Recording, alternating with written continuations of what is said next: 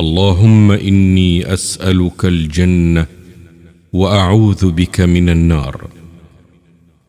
رب ابن لي عندك بيتا في الجنة.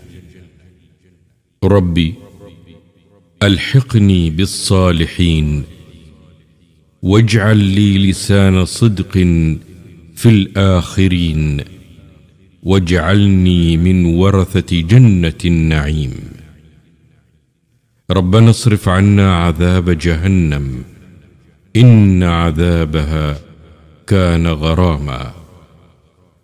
اللهم رب جبرائيل وميكائيل ورب إسرافيل أعوذ بك من حر النار ومن عذاب القبر.